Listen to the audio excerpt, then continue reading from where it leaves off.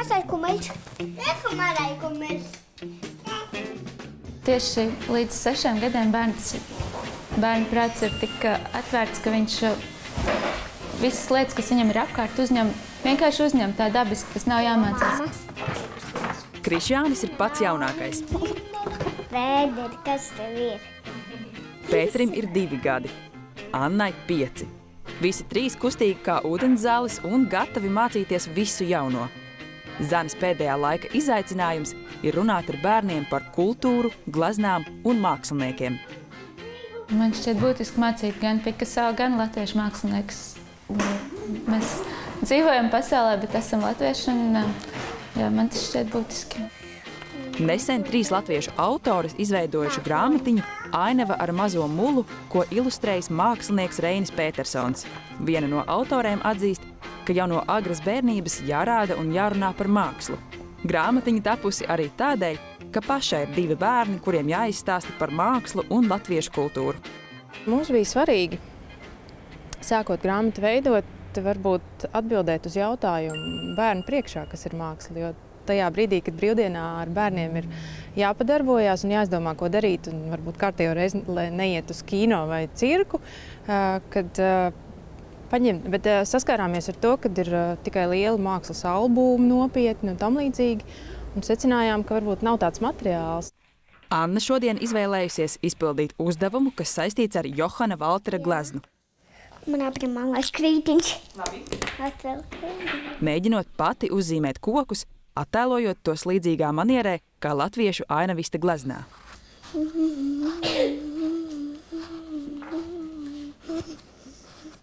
Bērns to vienkārši pilnīgi perfekti uzsūc, un tāpēc es domāju, jebkas, ko viņš redz, arī liek mūziku klausīties, tas, klasisko mūziku, Bahu vai Mocartu, tāpēc, ka skaista mūzika un, un bērns iemācās atšķirt to, kas ir skaisti no to, kas nav.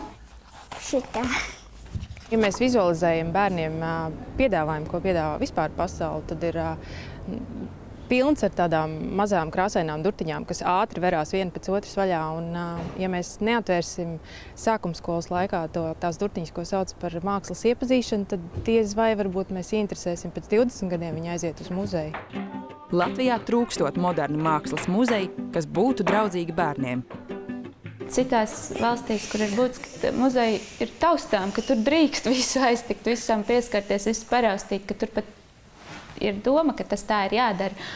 Un, manuprāt, tas ir kaut kas, uz ko vēl varētu tiekties Latvijā, ka, ka nav viena tanta vai pat trīs tantas, kas seko tam bērnam soļu un neaiztiec, neaiztiec, neaiztiec. Kamēr restaurē Nacionālo mākslas muzeju, bet laikmatīgais mākslas muzejs vēl nav tapis, Zane izmanto grāmatas un interaktīvas kartiņas, lai apmācītu bērnus pati. Tev jāsameklē nevis tieši tādas pašas, bet līdzīgā stilā bildīt. Apmācība par mākslu beidzas brīdī, kad atveras ārdurvis.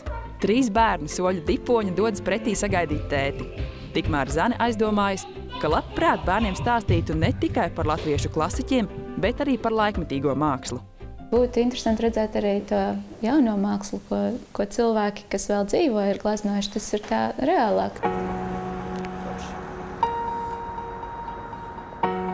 Laura un Lauris ir daļa no komandas, kas veidojuši saturu izstādēji, lai gadījums kļūtu par notikumu. Pirmsskolas bērniem laikmatīgo mākslu var mācīt no grāmatām un mājās, bet kā ar to interaktīvi iepazīstināt vidusskolēns, kuriem jau par visu ir viedoklis un kulturoloģijas stundas bieži vien nešķiet uzmanības vērtas. Visus neinteresēs nekad māksla, bet uh, visus interesē tas, kas ir aktuāls. Un skaidrs, ka aktuāls ir tehnoloģijas. Rīgas mākslas telpā izvietotajā izstādē apskatāmi vairāk nekā 30 izcilu latviešu laikmetīgo mākslinieku darbi. Mūsdienu tehnoloģijās balstīta izglītojoša spēle, kas 9. līdz 12. klašu skolēniem ļauj laikmetīgās mākslas darbus saistīt ar fizikas, ķīmijas, vēstures, matemātikas un citām zināšanām. Lai gan skolu esmu absolvējis pirms septiņiem gadiem, man esot jāiejūtas skolāna lomā. Pirmais punkts ir Katrīnas Neiburgas darbs Solitūde. Šeit ir jāapskatās mākslas darbs, kas ir tas, arī, ko skolēni dara. Viņi apskata mākslas darbu, un tad viņi pilda to uzdevumu. Dodamies pie planšetdatora, kur man jāatbild uz jautājumiem. Skolotāja, kura veidojusi uzdevumus, esot sazinājusies ar mākslinieci un noskaidrojusi, kādi materiāli izmantoti mākslas darbā. Tas, eh, principā, tieši informātikas uzdevums. Tāds, uh, Labi, es izdomāšu to tās. Izvēlētos šis, izvēlētos šis. Urā! Jāsako kartei, lai izpildītu nākamo uzdevumu. Tagad mēs dodamies uz savu nākamo punktu, kas ir eh, jautājums darba lapā. Slavenās Laganovska tribīnes. Darba lapā jāieraksta, cik atvilknes mēs redzam viņa darbos. Mēs varētu būt anarchisti un vienu darbu noignorēt.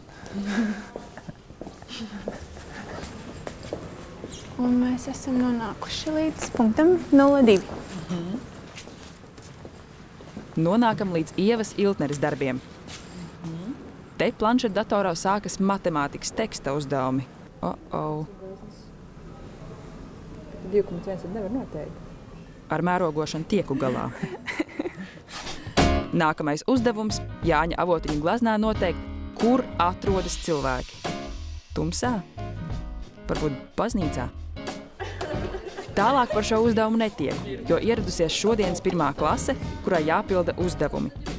Sešas nedēļas šoruden skolām tika dot iespēja pieteikt klases uz interaktīvo spēli un bez maksas aplūkot laikmetīgo mākslinieku darbus un izpildīt uzdevumus. Pieteicās 120 grupas. rūpīgi izlasiet visu un iedziļināties tieši tajos darbos visos. Un, jā, tā kā es domāju, ka tas jūs varat sadalīt komandās tagad. Tiek dotas 40 minūtes uzdevuma izpildēji. Teiksim, tev stundu ir jāklausās lekcija. Nu, to mēs arī tagad jau visi zinām, ka lekciju klausīties stundu vai pusotru bez pauzēm, bez izmaiņām nu, nav derīgi. Lauris pats trīs gadus bijis iespējamās misijas skolotājs. Uzskata, ka iepazīstināt ar laikmetīgo latviešu mākslu vidusskolēns ir būtiski, jo tas paver pavisam citu skatījumu uz mūsdienu notikumiem un pašu mākslinieka tā brīža noskaņojumu. Tas ir drūma glezna. Ir drūma galīgi. Man tā nav. Viņa ir krāsa. Tur jau tā lieta man arī nešķiet viņa drūma. Viņa baigi pozitīva. Tie, tie tiem noticējumiem un visām tām lietām. Viss tas kodols un mākslinieks ir tas cilvēks, kurš eh, nu, ekspresīvi izliek uz āru eh, savas sajūtas un komentē vai nu sevi, vai sabiedrību, vai pasauli, kurā mēs dzīvojam. Un tas notiek šeit un tagad, šajā brīdī. Tajā brīdī, kad tas ir saprasts, eh, uztvert mūsdienu mākslu jau paliek daudz vien, vienkāršāk. Man māksla neinteresē, bet tas ir ļoti interesanti.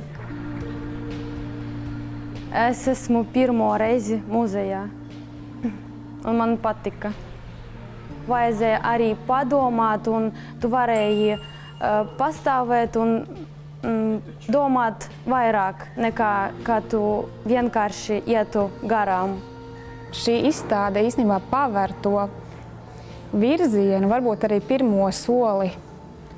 Nu, cilvēks spēr pirmo soli muzejā, un uh, iespējams viņš sapratīs, ka tur nav. Muzeja durvis vairs nav tik smagas, kādas viņas ir Nacionālajā muzejā. Un, uh, būs daudz uh, vieglāk pašam atvērt šīs durvis un ienākt.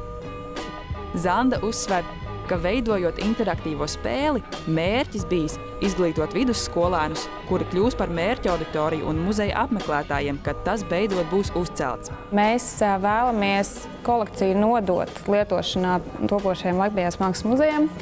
Un, mēs sākam saskatīt gaismu tuneļa galā. Tas muzejs cerams drīz būs. Zanda bijusi valdes locekle Eiropas kultūras centru tīklā, kur noskaidrojas, ja Latvijā būtu laikmetīgās mākslas muzejs, iespējams turisti Rīgā pavadītu ilgāku laiku un būtu peļņa arī vietējiem uzņēmējiem. Principā nu, 90% atzina, ka muzejs paildzina ā, principā, vizīti valstī vismaz par vienu dienu.